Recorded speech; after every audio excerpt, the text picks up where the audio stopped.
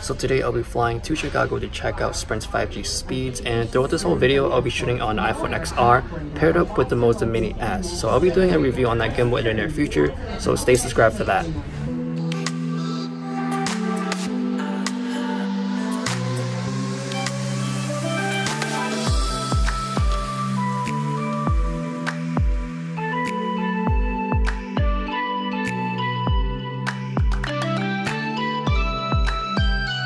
So I finally got my hands on a Samsung S10 5G, so let's walk around and do some testing.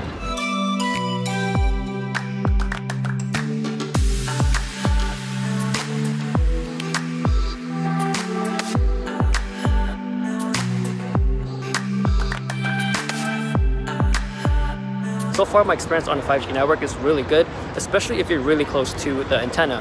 Now I can download a movie off of Netflix in standard quality in about a minute and a half. Now, if I were to download an episode of a TV show, then it would probably take about less than a minute for sure.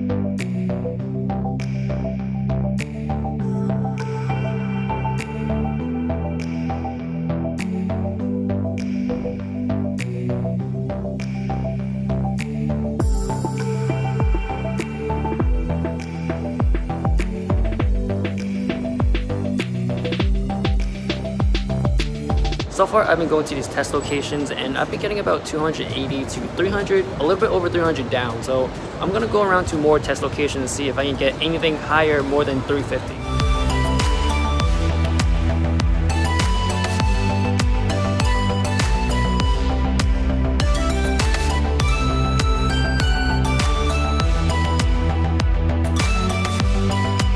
When I'm away from the tower, then the speeds are really slow, but for the most part, it's still about the same as 4G networks.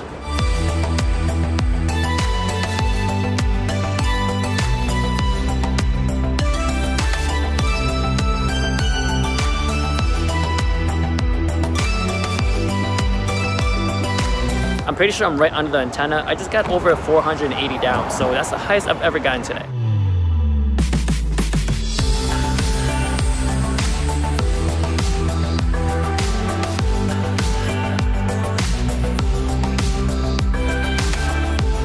I'm shooting on a Samsung S10 5G since I ran out of space on my iPhone.